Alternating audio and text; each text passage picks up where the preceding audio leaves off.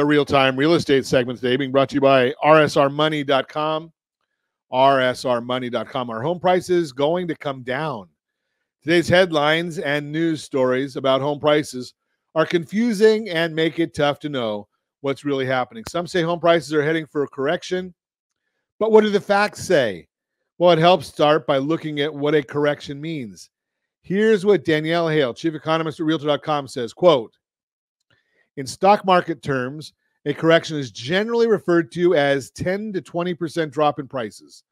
We don't have the same, same established definitions in the housing market, unquote. In the context of today's housing market, it doesn't mean home prices are going to dramatically fall. It only means prices, which have been increasing rapidly over the last couple years, are normalizing a bit.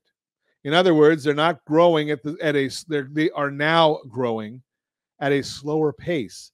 Prices vary a lot by local market, but rest assured, a big drop off is not what's happening at the national level.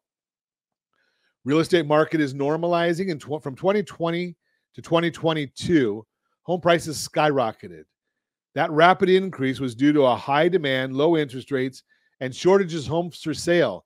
But that kind of aggressive growth couldn't continue forever.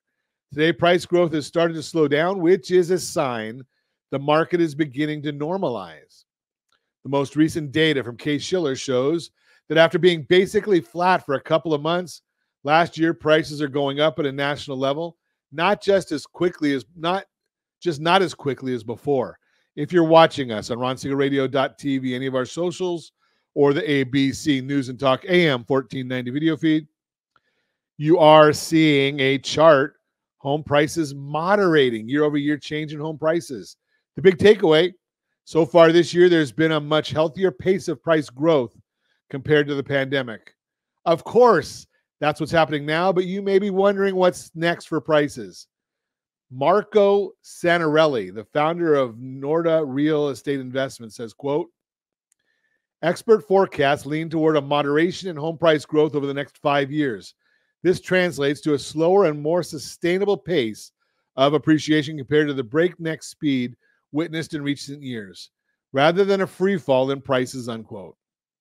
It's all about supply and demand. Increasing inventory plus limited buyer demand due to relatively high mortgage rates will continue to ease some of the upward pressure on prices.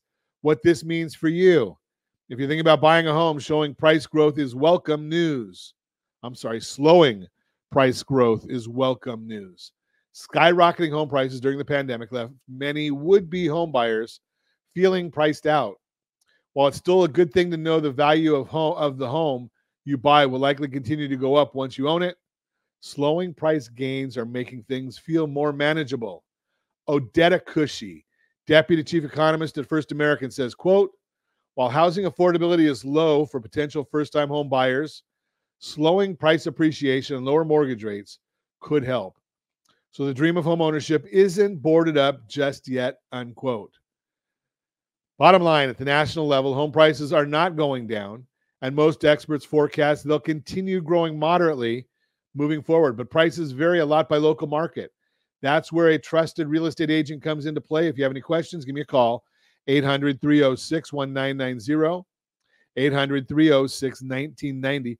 If you want to know exactly what's going on in the real estate market in your zip code, rsrmarketreport.com, rsrmarketreport.com. Our friends over at Altos Research track every single home for sale in the United States every week.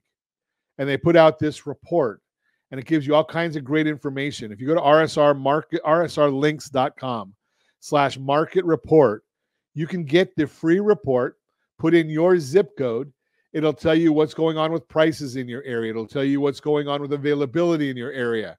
How many days on market are the homes on there? And is that going up or going down?